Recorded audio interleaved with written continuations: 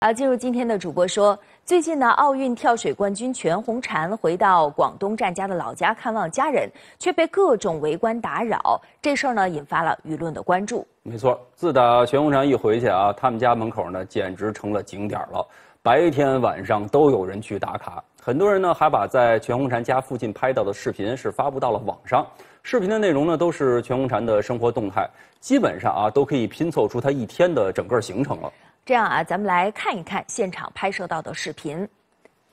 视频画面显示啊，全红婵家的门口真是被一道护栏已经围了起来了，围观的人可真是不少啊。尽管呢是已经晚上了，仍然有大量的游客聚集在全红婵爷爷家的门口。面对这样的场景，全红婵呢也不得不站在二楼向游客们喊话，说：“你们小一点声，回去吧，明天再来太吵了，我们要休息了。”然而第二天一早啊，众多游客是再次早早的就守候在了全红婵家的门口。网友们拍摄的视频显示啊，刚起床的全红婵跟爷爷是在二楼跟大家打招呼，全红婵呢也是再次喊话说回去吧，这里太吵了。楼下的人们呢是高声呼喊着婵宝加油啊，迟迟没有离去的迹象，这让全红婵脸上啊也不禁流露出了一丝无奈的感觉。全红婵回到老家之后呢，会去很多的店铺买买东西，店员们也纷纷的在网上晒出来全红婵来消费的照片，或者是和她一起合拍的合影。还有啊，就是很多网友呢在路上偶遇全红婵，也会拍个视频得晒出来。那这几天呢，在社交平台上啊，你可以刷出全红婵回家之后的全程的一个行踪，什么全红婵买奶茶啊，全红婵逛街啊，全红婵骑电动车啊，什么全红婵给大家发水果等等等等。而令人大跌眼镜的是，还有旅行社啊，竟然推出了全红婵老家一日游。有导游呢举着旗子，带着游客在周边的街上游览。据附近旅行社的工作人员介绍，当地村一日游啊这个项目主要呢是去打卡全红婵的家门口，也会去湛江老街呀、金沙湾等景点去逛一下。而价格方面呢，便宜的是五十八块钱一个人一日游，贵的呢是一百二十八块钱一个人。最近呢，还有网友反映啊，说全红婵回到老家了之后呢，竟然有人是用无人机去航拍他们家。拍到了他在院子里活动的一些场景。对此啊，当地派出所表示将告知现场执勤的民警注意这一类情况。而民警还表示啊，一直有人在现场值班。当地的村干部也表示，村里是禁止无人机航拍的，也有专人来进行管控，会提醒对方不能够再继续拍摄。而此前呢，村里边在八月份就发现过一次无人机在全爷爷家的上空航拍的情况。之后也全部禁止了这一类的行为。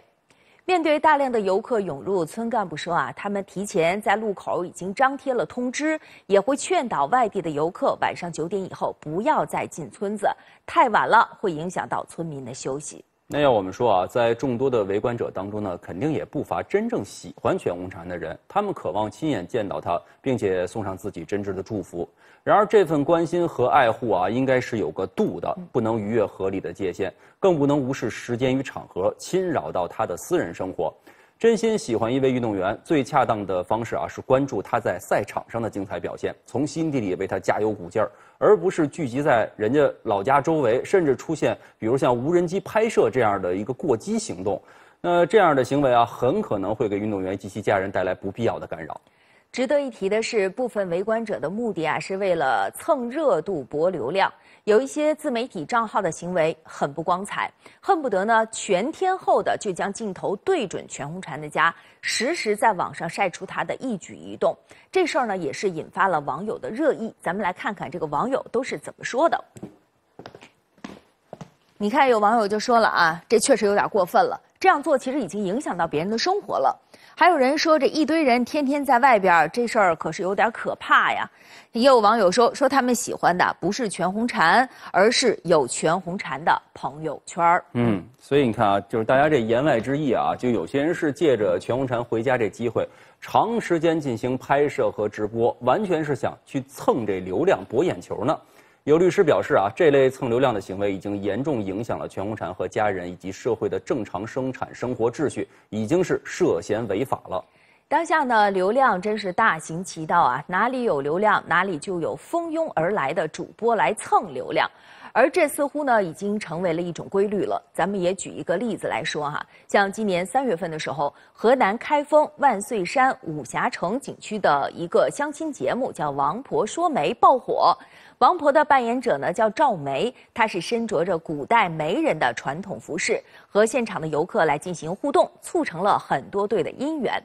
赵梅的演出可以说是亲切有趣，风格也很接地气儿，很多游客真是慕名而来。开封文旅也特别设置了王婆专线，从车站出来，您就可以坐大巴，然后就直达景区了。但是呢，赶来蹭热度的人也随之多了起来。对，其实好多，我相信大家印象都挺深刻的。比如说，我记得啊，就曾经有一名女子上台呢，跟男子去相亲，互相还加了微信。嗯，结果台下游客就大喊说：“王婆，我认识她，她是主播。”果不其然啊，女子下台之后呢，跟刚才啊去加微信的那名男子说明了真实情况，他就是一名主播来蹭这流量的，并不是真的想跟这儿找对象。嗯，而且呢，后来有很多对经过王婆说媒成功牵手的男生女生，后续也被指认出来真实身份，他就是网红，而且呢，双方可能之前早就认识，呃，个人经历和牵手环节，这都是剧本设计啊。王婆的扮演者赵梅也苦口婆心地表示，拒绝网红打着相亲的名义来上台蹭流量，非诚勿扰。后来呢，景区也开始规范相亲流程了，表示上台交友环节来实行线下提前实名制来预约。类似的情况啊，也发生在呃山东菏泽小伙郭有才身上。今年五月呢，山东菏泽的农村小伙郭有才靠翻唱一首经典的老歌《诺言》是火出了圈了。视频画面中啊，二十五岁的郭有才梳着比较复古的那种造型去唱歌，然后呢，再加上怀旧的滤镜，还有这种 MV 的风格，好像瞬间就把人拉回到了上世纪八九十年代。那有网友呢喜欢郭有才歌声里的那种沧桑感啊，很短时间内他的账号粉丝啊就超过了千万。那火了之后呢，也带火了一个城市，这就是山东菏泽，以及一个已经停运的车站——菏泽南站。菏泽南站呢是郭有才经常去直播的地点，然而后面发生的事儿啊，就让人大跌眼镜了。当时呢，菏泽南站广场啊，每天啊都会涌入超过四十万人次的游客来听郭有才唱歌。为了能够在前排拍到郭有才，有一些主播们真是不惜啊彻夜排队来占位置。此外呢，有一些在菏泽南站现场直播的网红装扮啊，那也是十分的奇异。有的人装扮成哪吒、孙悟空、济公，还有呢表演时装秀、热舞等等。有很多网友就吐槽啊，说这个菏泽南站这站前啊，真的是群魔乱舞。有多位附近的居民也表示，郭有才及各路网红的直播活动已经影响到周边学校以及附近居民的正常生活和学习了。后来呢，菏泽南站也是发布了公告，表示将不再举行各类的文娱活动。郭有才后来也转到其他地方进行直播了，有不少在当地直播的主播，由于违反平台规定而被封号了。那每当哪里啊有流量汇聚，一些主播们就会扎堆儿去哪儿蹭流量。毫无疑问啊，他们都是打着自己的小算盘的，把流量所在之处呢当成了一个大蛋糕，每个人都试图去切割到属于自己啊想抢的那一块儿。然而蹭热度啊，也得守住法律和道德的底线，不能侵犯他人的利益，不能违背公序良俗，更不能损害公共利益。否则的话啊，相关部门也会及时出手介入整治。当然，平台方面啊，也不能袖手旁观，应该拿出相应的措施，让那些违规蹭流量的人得不偿失，让突破边界的行为受到应有的处罚。